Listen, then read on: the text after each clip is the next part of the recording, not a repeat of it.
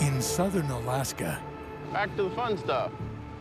Mike Willard bankrolled a costly trip to claim a new trapline in Mount Doral Valley. Working with his friend, veteran trapper Dave, he needs high-value wolverine fur to make it pay off. Well, there it is. Damn it. Looks like we're dealing with a big one that knows what he's doing here. Dave's deerskin bait is gone. He's confident it was taken by a crafty wolverine. He clearly dug it out. He just went right in and took the bait. Wolverines seem to be professionals at snapping traps. It's because they're always digging around and they're using their nose to see if there's anything buried under the snow.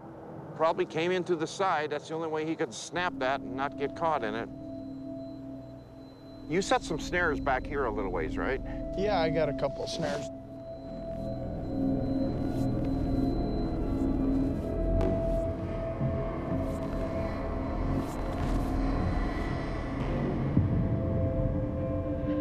Hey, Dave, we got him.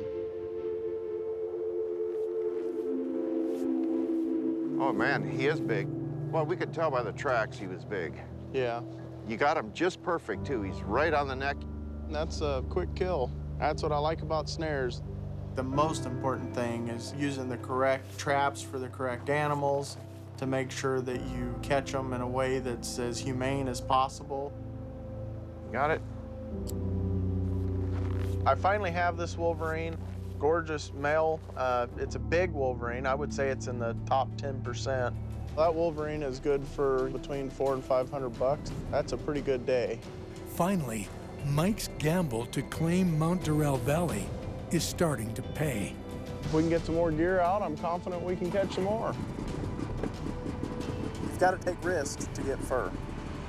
But this trap line gives us so much potential for this season and future seasons.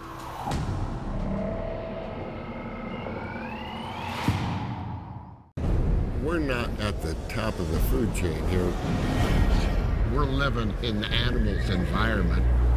There's a lot of ways to die out here. You gotta be tough to survive.